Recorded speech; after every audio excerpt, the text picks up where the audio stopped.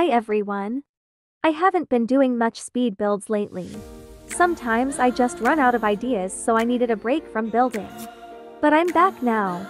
I'm not good at preppy builds, but I tried to do one today. I needed around 10,000 bucks to fully decorate everything. Let me show you the house.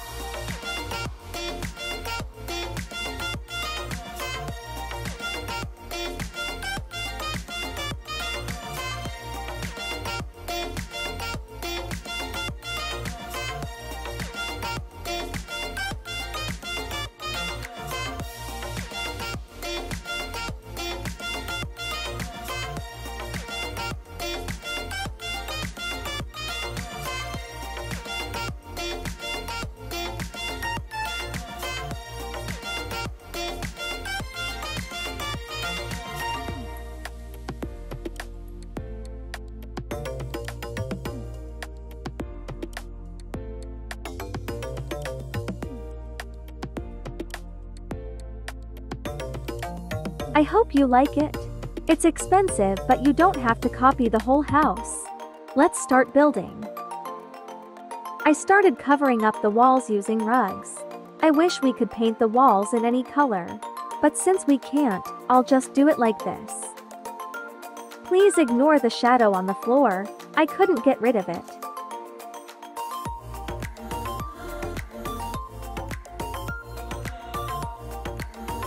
I changed the door later in the video, so make sure to cover up the right door.